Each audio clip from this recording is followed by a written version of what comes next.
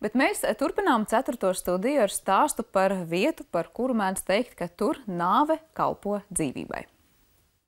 Tikko kā ir renovētas anatomikuma telpas, bet raidījums 4. studija dodas noskaidrot, cik viegli tur iekšā ir noģībt un vai studenti pēc iekšā redzētā nav mainījuši savus karjeras plānus. Anatomikums diezgan ātri noliek to robežu. Vai tu būsi dakteris, vai tu nebūsi dakteris. Un tas ir brīnišķīgi. Ziniet, ir tā, ka patiesībā nav gan ģībuši, neceriet, ja? jo tie, kas nāk, ir diezgan motivēti.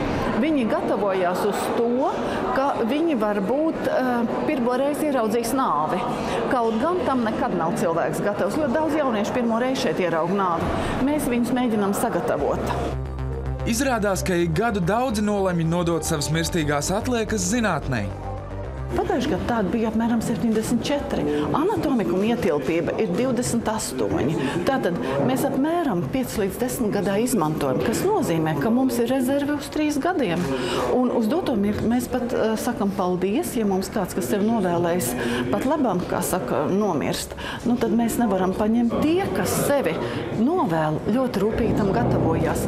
Viņi uh, nokopē daži dažādas uh, savas slimības vēstures, daži atbrauc, mēs izstaigājam telpas, jo cilvēks viņš grib redzēt, kur viņu preparēs, kur viņš gulēs. Mums zālē, kad mēs sēdējām, klausījāmies lekcijas, bija cilvēki, kuru vecāki ir sevi novēlējuši. Un lielākais un greznākais šo cilvēku dvēselēs ir tas, ka viņi spējuši šeit atnākt, kur lejā pagrabā guļ viņu radinieki.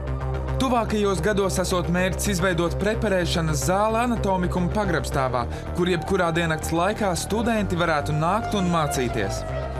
Pie mums nāk arī ķirurgi, lai trenētu jaunās, modernās uh, metodes, um, operāciju metodoloģiju. Mēs jau vienmēr ļaujam, kur tad viņš trenēsies, ja ne uz līķa. Uz dzīvi taču nevar, viņam jāpatrenējas ir uz, uz līķa. Mēs vienmēr atļaujam, jo tas iet dzīvu cilvēku labā. Bet vai anatomija kā zinātne mainās joprojām? Cilvēka skeletu taču esam izpētījuši jau ļoti sen. Mēs jau redzam kauli, muskuļi, āda, vispārējais makroskopiski. Zem mikroskopa jau ir ļoti daudz kas mainījies. Šūnas, bet mēs jau tagad skatāmies molekulu līmenī.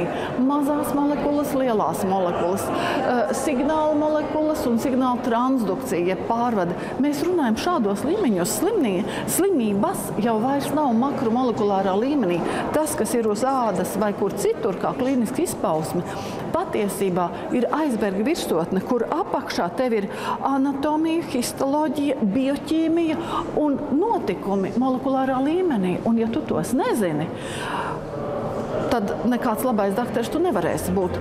Jāpiebilst, ka topošajiem ārstiem talkā nāk modernās tehnoloģijas, un, kā saka profesore, visu zināt nekad mēs nevaram, bet ir jāsaprot likumsakarības un jāspēj nepārtraukti attīstīties, jo zinātne uz vietas nekad nestāv.